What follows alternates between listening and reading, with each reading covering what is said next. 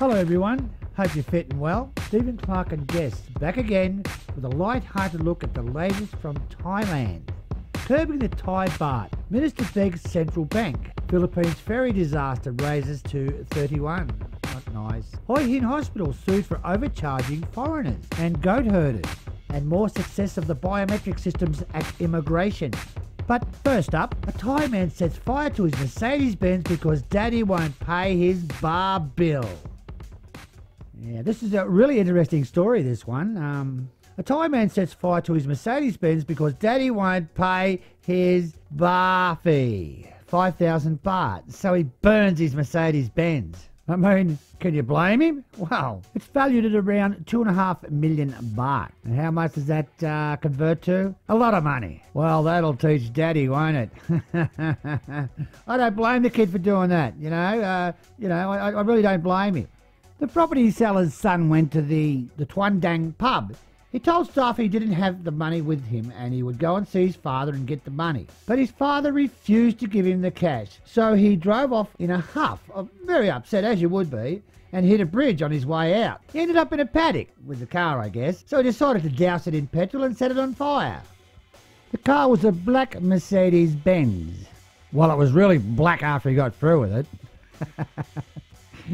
yes, they um, CLS 250 CDI Mercedes Benz. The front of the car was completely destroyed, and the uh, back of the car didn't fare too much better, but it's probably a little bit salvageable. I don't know, maybe the ashtrays are still intact. the car, unfortunately, was on hire purchased and owned by a bank. Ooh. The police and fire authorities put out the fire, and the property developer, the father, was there but refused to make any statement. I mean, what do you say? Nice job, son. You really cooked it. The property developer told Udon Thani police that his son had mental issues and liked to uh, cause trouble. The police will interview him when he gets over his uh, hangover, apparently. So that means he was driving the car drunk, does it? Oh dear. You know, he burns a two and a half million baht Mercedes Benz. What does he do when he's upset?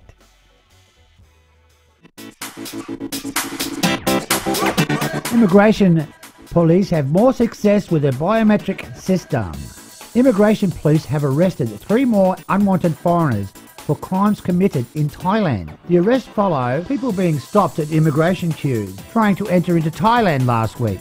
In a report from Thai authorities, success of the biometric system Police say the new system helped identify the people and crimes they had allegedly committed or were uh, involved in. Even though the process of taking all the fingerprints adds to the process time of each passenger at the airport, police identified the men only as A, B, and C.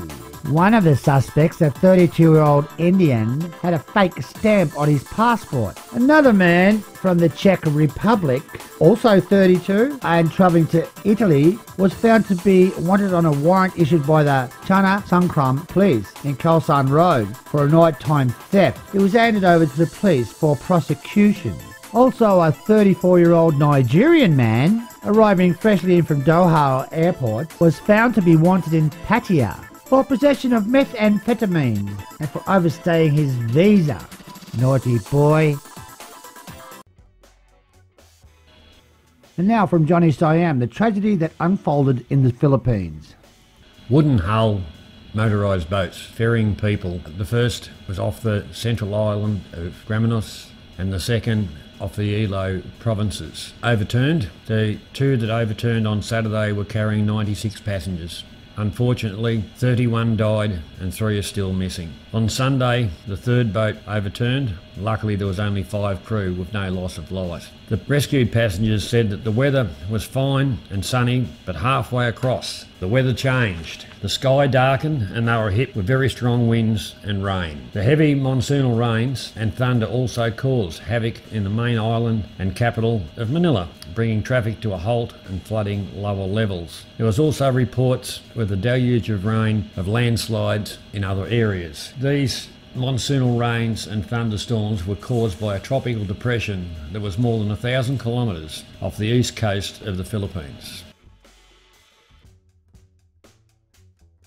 A Dutchman is suing the Hua Hin Hospital for overcharging tourists and foreigners. In a novel suit, The litigation claims now Thai citizens are charged 50 baht for an appointment with the doctor at the hospital. But foreigners, surprise, surprise, are charged 300 baht. The 50 year old Dutch complainant claims that this is a form of corruption. So the Dutchman decided to take his complaint to the Hua Hin police station, informing those at the police station he wanted to sue the Hua Hin hospital for overcharging foreigners. He claims there is no regulations established by the Thai Ministry of Health which allows for a difference in hospital fees for foreigners. The complainant claims he has bladder cancer that he's had since 2016 and visited the hospital over three months in a distance of 200 kilometres from where he lived. He claims he paid over 300,000 cash to the hospital over a four year visit. He says he has no issues paying the fee,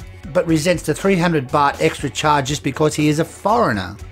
He claims this is different from other government hospitals that only charge 50 baht for a foreigner, and that the Hua Hin hospital come up with the additional charges themselves. The hospital claims it has to add 15% and 300 baht as a service fee for foreigners. The complainant says now he has paid 12,746 baht over the years for the extra charge and he wants the money back. The complainant has filed other reports in the past to the Ministry of Health, but unfortunately for him, the issues bounce backwards and forward. The complainant is a retired railway engineer from the Netherlands. He currently looks after goats with his Thai wife in the region. You know, it's good this guy's taking a stance against what he feels is uh, corruption, but even though he's, he really is starting to look like his animals.